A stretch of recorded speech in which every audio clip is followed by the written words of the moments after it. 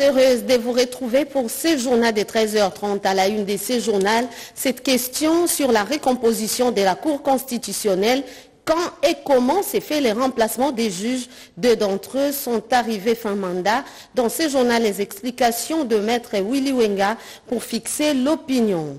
Autre titre, c'est demain que se clôture le mois des Ramadan pour le croyant. Mois des Ramadan, mois des partages et des prières. La Fondation Mohamed VI des oulémas africains section RDC a remis des vivres en guise de partage des images à suivre également dans ces journaux. Bienvenue dans ce journal, une coopération mutuellement avantageuse entre la République démocratique du Congo et la République sud-africaine dans le domaine carcéral. La RDC s'appuie sur l'expérience du pays des Mandela en matière de construction des prisons modernes. La ministre d'État, ministre de la Justice et garde des Sceaux a visité que ce soit à Pretoria ou encore à Johannesburg, quelques lieux de détention.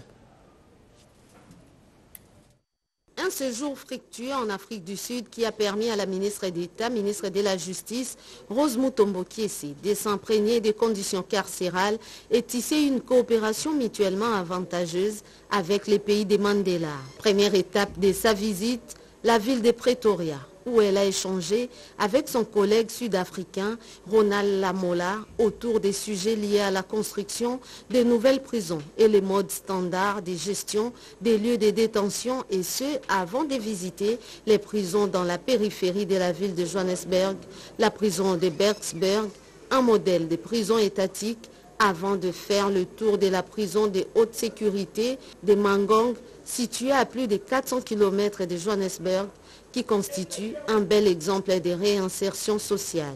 Pour dupliquer ces modèles en RDC, la ministre d'État, ministre de la Justice, Rose Mutombo s'est entretenue avec Paolo, des nationalités zimbabwéennes, homme d'affaires et chairman du groupe Préval, ainsi que Moulalo Tabela, des nationalités sud-africaines, chairman du groupe TEFLA, sur la possibilité de construction des prisons modernes en République démocratique du Congo.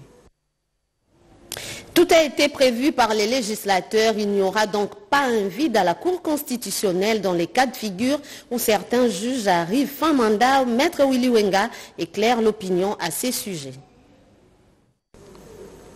La Cour constitutionnelle a 9 ans, institution indispensable dans la judiciarisation de la vie politique au sommet de l'État que deviennent les juges. Les débats vont dans tous les sens, mais l'esprit du législateur a tout prévu.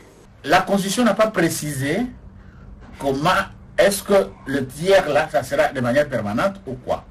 Mais la loi a précisé que euh, la Cour est renouvelée par tiers tous les trois ans.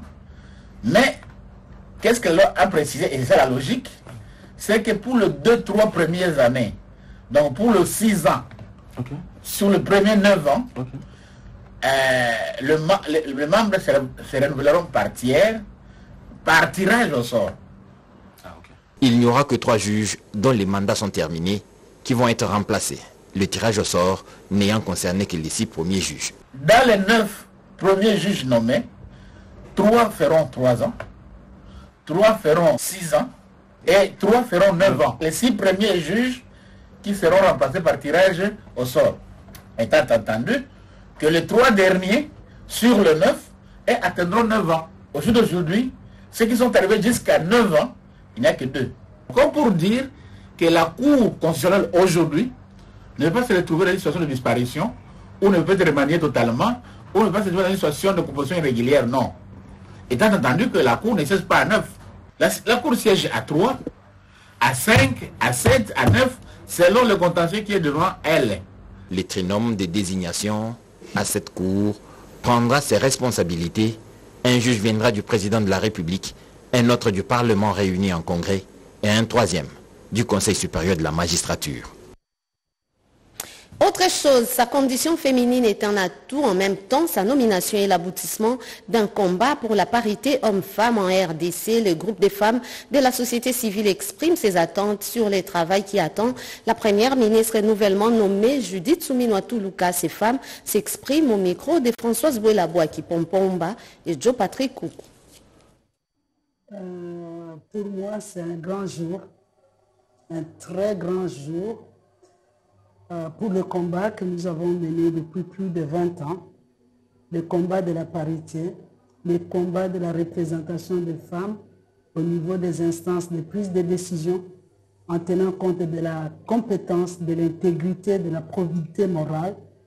Et je suis euh, émue, je suis également heureuse de voir que le chef de l'État a nommé une grande femme, une femme de valeur, une femme euh, avec détermination, une femme intelligente, une femme sage, selon nos critères. Parce que nous ne défendons pas le combat de la parité pour qu'on nomme une femme parce que c'est une femme, nous défendons la compétence. Le chef de l'État, il est le champion de la masculinité positive, mais euh, on avait quand même assez de doutes parce qu'il y avait, ça venait et ça partait, mais euh, finalement, quand ça s'est réalisé, c'était un boom, un clash, on s'y attendait le moins, et j'ai posté ça directement dans notre groupe de, Washington et c'était toutes les femmes qui avaient réagi. Moi-même, euh, on, a, on a passé presque une nuit blanche hein, à rêver, à penser ce que c'est réel après 30 ans de lutte depuis Beijing jusqu'à en 2024, ça devient une réalité au Congo. Et si on doit compter à partir de l'indépendance, c'est 64 ans après. Et ce n'était pas une mince affaire. On a eu du temps pour euh, pouvoir digérer ça et réaliser que c'était réellement vrai. Mais vraiment, euh, d'abord, nous disons merci à Dieu et nous disons merci au président de la République pour avoir réalisé ce qu'il avait promis il avait dit qu'il allait travailler avec les femmes. raison pour laquelle nous, en tant que diaspora, nous sommes venus en tant que précurseurs pour arranger l'espace pour que les femmes de la diaspora reviennent pour travailler avec lui. Le chef de l'État, en la nommant, reconnaît les qualités et les valeurs de la femme congolaise et bien sûr de la première ministre en particulier. Donc je crois que c'est quelque chose de positif. C'est montrer qu'en RDC, il y a des femmes très compétentes parce que euh, on peut dire qu'avant d'être même une politique, Madame Soumino est une technocrate. Et ça montre le, tournant que veut prendre le président euh, Tshisekedi par rapport à la gestion du pays. Ma peur à moi, c'est que les gens vont la juger plus durement qu'ils ne jugeraient un homme. Parce que euh, quand on met une femme quelque part, donc tous les yeux sont braqués en se demandant est-ce qu'elle va y arriver, est-ce qu'elle ne va pas y arriver. Donc pour moi, euh, c'est un petit peu ça le défi. C'est comment la population, pas tellement la population, mais la classe politique va l'accueillir en tant que première ministre. Et puis cette question, comment développer des chaînes de valeur et assurer l'entrepreneuriat de croissance? La question est celle qui a alimenté les discussions au cours d'une matinée de sensibilisation des petites et moyennes entreprises de la ville de Lubumbashi, province du Haut-Katanga, une sensibilisation lancée par le directeur général adjoint de l'Agence nationale pour la promotion des investissements, ANAPI. Les résumés de cette matinée dans ses commentaires. Les Haut-Katanga, première étape d'une mission qui va conduire l'équipe de l'ANAPI dans six provinces du pays. À Lubumbashi, ce sont les très petites, petites, moyennes entreprises et industries qui ont constitué en ces débuts de semaine la cible d'une séance de sensibilisation. L'entrepreneuriat de croissance au travers les chaînes de valeur, c'est ce thème exploité lors de cette matinée de sensibilisation qui a réuni plusieurs acteurs du secteur privé comme public le directeur général adjoint de l'ANAPI, le professeur Bruno Chibangu Kabaji, a dans son mot d'ouverture insisté notamment sur la consolidation de l'écosystème de manière à favoriser une croissance durable à travers l'entrepreneuriat. Le discours a laissé place à une série d'exposés faits par le sous-directeur et expert de l'Agence nationale pour la promotion des investissements première à exposer, Gisèle Chamala, a orienté l'assistance vers les éléments constitutifs d'une chaîne des valeurs et les techniques de développement de l'entrepreneuriat de croissance avant que Freddy Poutakese ne s'étale sur le climat des affaires dans le Haut-Katanga. L'ANADEC, qui a été associé à la démarche, a par son directeur provincial exposé ses missions et appelé ses entrepreneurs à se rapprocher davantage de leur institution pour bénéficier d'un accompagnement. S'en est suivi un long moment d'échange qui a éclairé l'Assemblée sur notamment les avantages accordés par l'État aux entrepreneurs à travers le Code des investissements. Pour clôturer la matinée, le DGA de l'ANAPI, Bruno Chibango Kabaji, a convié l'assistance à la découverte des produits de l'entrepreneuriat congolais exposés dans les stands. Les micros, petits et moyens entrepreneurs congolais peuvent se réjouir et ce, après la signature des partenariats que vient déceler le Fonds pour l'inclusion financière RDC avec Advance Congo pour faciliter l'octroi des crédits en leur faveur, nous dit Marie-Louise Mbela Kivila.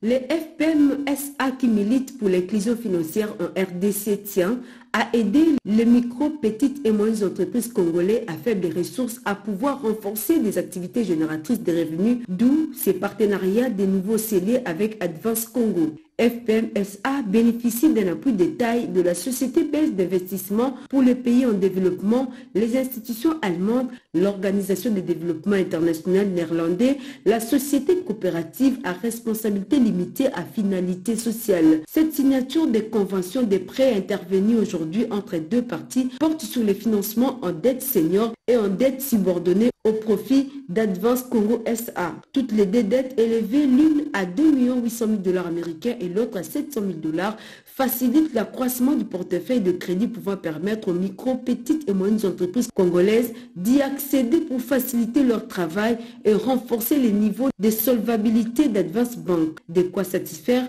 les besoins des micro-entrepreneurs congolais. La particularité de ces deux dettes, c'est qu'il y en a une qui va soutenir le capital, donc donner plus de solidité à l'institution. La dette senior vient renforcer nos, nos ressources pour pouvoir financer les entrepreneurs congolais.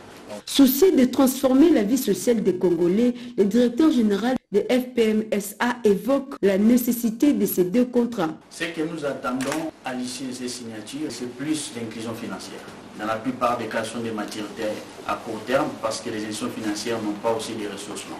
Et là, nous mettons à leur disposition des ressources longues. Ça va permettre à ce que les institutions puissent accorder des crédits de longue maturité. Les bénéficiaires, ce sont les micro, petites et moyennes entreprises. FPMSA permet aux hommes et femmes micro-entrepreneurs de pouvoir accéder aux différents services financiers qu'offre cette institution financière pour résorber la pauvreté. Le gouvernement américain, à travers sa représentation diplomatique en RDC, apporte son appui à la Cour des comptes. Du matériel informatique a été remis à cette haute instance de contrôle. Christine Lenzo et Simon Kankolongo pour les reportages. La Cour des comptes a une lourde mission légale de vérifier, instruire et de juger les comptes des services de l'État. Après la prestation des serments de ces magistrats, il a été opportun de lui doter des moyens matériels adéquats pour bien accomplir sa mission. C'est dont des États-Unis d'Amérique, à travers son bureau AINL, tombe à point nommé. La Cour des comptes vient donc de bénéficier de 63 ordinateurs portables et des bureaux, 11 imprimantes 16 scanners, 14 ondulaires, 6 climatiseurs et 5 projecteurs. Ce don fera progresser les efforts de la Cour des comptes pour soutenir l'état de droit et la lutte contre la corruption. Cet appui du gouvernement américain apporté par l'ambassadeur des États-Unis en RDC est estimé à 100 000 dollars américains et c'était réceptionné par le premier président de la Cour des comptes, Jimmy Munganga Ngwaka, lors de cette cérémonie organisée sur place. Je tiens à remercier sincèrement le gouvernement américain à travers son ambassade en République démocratique du Congo pour ce geste qui vient d'être posé ce jour.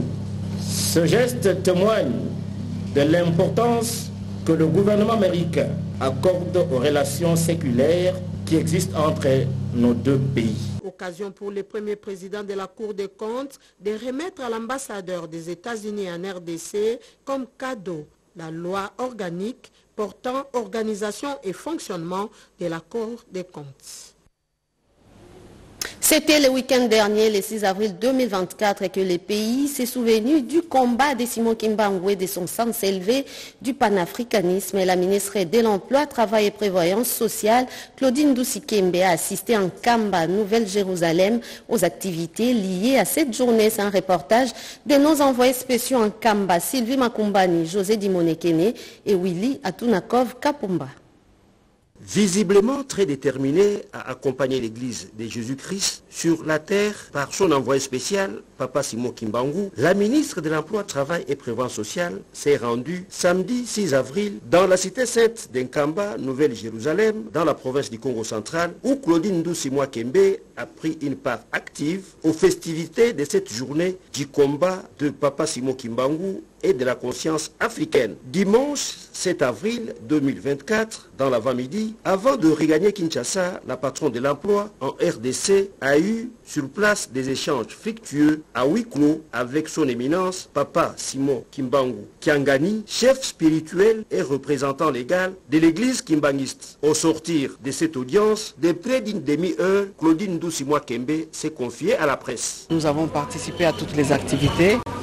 Nous avons passé le message de l'autorité suprême, le président de la République, chef de l'État, qui a encouragé et qui est d'ailleurs lui-même porteur de cette grande journée accordée à la reconnaissance de ces combats. Et nous avons également présenté les salutations de l'actuel Premier ministre qui est originaire de la province du Congo central. Nous sommes venus encourager l'Église, nous sommes venus encourager également la population congolaise dans le sens que nous devons continuer à porter ces combats du prophète Simon Kimbangu. Nous avons eu la libération, libération telle que combattue par euh, le, le, prophète Simon Kimbangu, mais nous continuons à courir vers la libération économique de notre pays. Nous sommes envahis par euh, des voisins, soutenus par des puissances étrangères, et j'ai sollicité que l'Église soutienne et accompagne les chefs de l'État dans ces combats. La ministre du gouvernement sortant, Claudine Doucimois Kembe, a invité les Congolais en général et les fidèles kimbanguistes en particulier à accompagner les chefs de l'État, commandant suprême des forces armées de la République démocratique du Congo et de la police nationale congolaise dans sa lutte contre l'agression de la RDC par le Rwanda, soutenue par les puissances étrangères à cause de ses richesses naturelles.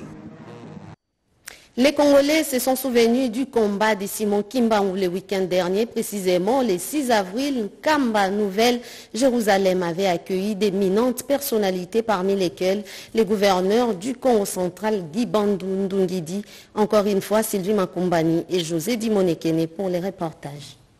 6 avril 1921, 6 avril 2024, 103 ans du début du ministère de Papa Simon Kimbangu.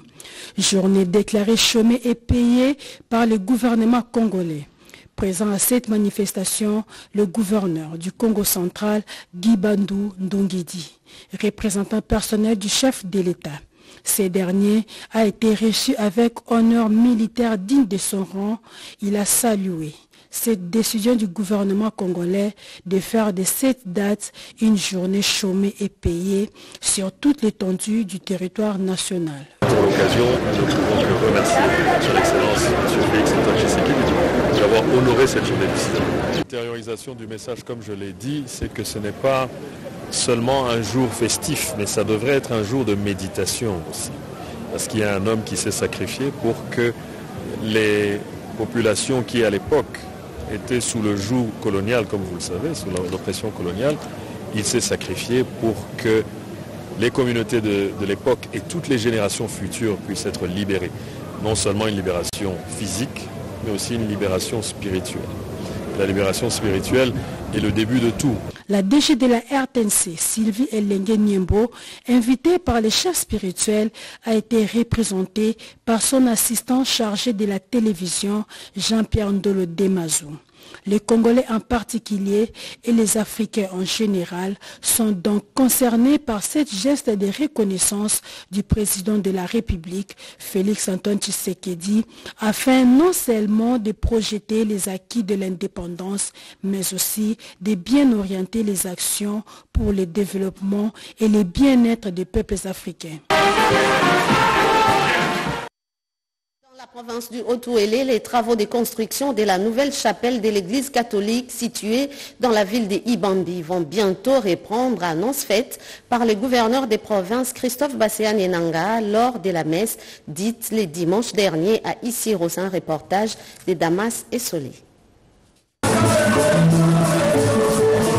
C'est une paroisse catholique, Saint-Léon d'Ibambi, située à environ 47 km d'Issiro à vol d'oiseau, qui reçoit près de 8000 chrétiens en ce deuxième dimanche des Pâques, le 7 avril 2024, dans une Eucharistie dite sous les hangars métalliques destinée à devenir sa nouvelle chapelle, l'ancienne ne répondant plus à la demande. C'est ici que le gouverneur Christophe Bassenanga choisit de communier avec sa base électorale. À l'issue de cette messe, au cours de laquelle l'abbé curé Roger Malikana a prêché la paix et le Saint-Esprit que procure la résurrection de Jésus-Christ, le premier citoyen du Haut-Tuélé, toujours ancré dans l'idéologie de son maître, Félix-Antoine Tshisekedi Chilombo, remercie vivement ses électeurs qui lui ont accordé leur suffrage à la députation provinciale le 20 décembre dernier. Au nom du chef de l'État, il annonce la remise d'une enveloppe consistante pour la poursuite des travaux de construction de cette immense chapelle dont il est initiateur à la grande satisfaction de l'assistance.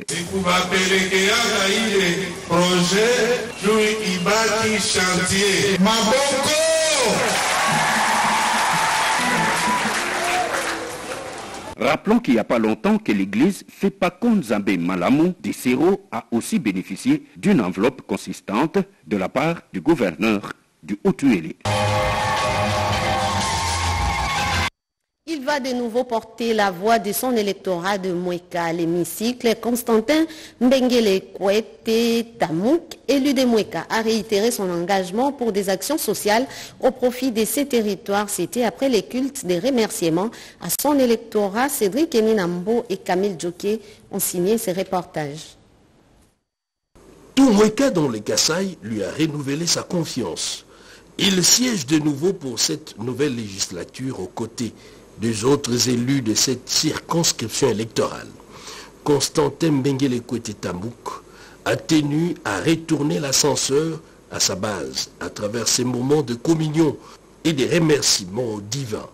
En présence de plusieurs personnalités tant du monde politique et social, dans un culte spécial, il a, en sa qualité du numéro un de l'Union fait la force, dit toute sa gratitude c'est le territoire de paix. Moueka, c'est le territoire de l'unité. Nous avons tous à nous engager, chacun dans la mesure de ses possibilités, pour que Moueka vive réellement en paix et dans l'unité.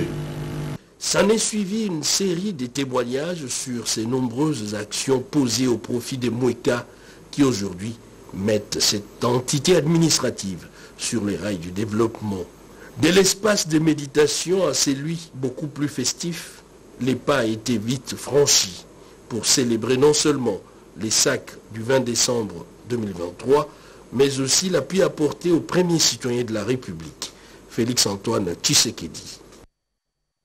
Je le disais dans les titres, le mois des ramadans se clôture dès demain en République démocratique du Congo. Qui dit mois des ramadans pour les croyants musulmans? C'est la période des prières et des partages. C'est dans ces contextes que la Fondation Mohamed VI des oulémas africains section RDC a procédé à la remise des vivres, nous dit Blandine Wavingana.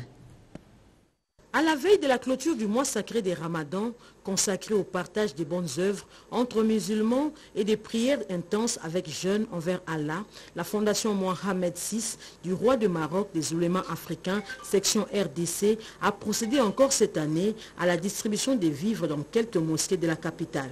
Tout a commencé à la mosquée Ishtihad, en Passa dans la commune de Lancélé, où les musulmans ont réceptionné leurs dons des mains du vice-président de cette fondation, Hussein Kazumba. Envers les fidèles musulmans de la RDC, a également été posé à la mosquée Tchèque Amdan de Lingwala et à la mosquée de la Vérité à Limité. Les bénéficiaires de ces dons n'ont pas manqué d'exprimer leur satisfaction à l'égard de leurs bienfaiteurs. J'ai d'encourager la Fondation Mohamed VI parce qu'avec ces dons, je demande aux musulmans à ce que nous soyons unis, à ce que nous ayons aussi l'amour de notre pays. Et ces gestes continuent hein, doit continuer, Inch'Allah. Je ne peux que encourager ceux qui font ces gestes et c'est Allah qui va les récompenser. La Fondation vient d'intervenir pendant cette période de crise. Les conditions sont difficiles pour les, ramadans. Nous les remercions beaucoup et que Dieu exauce leurs prières Contrairement aux années passées, cette année, la distribution des vivres a concerné non seulement la ville de Kinshasa, mais aussi la ville de Chikapa dans le Kassai, Kisangani dans le Chopo et Goma dans le Nord Kivu, pour ne citer que celle-là.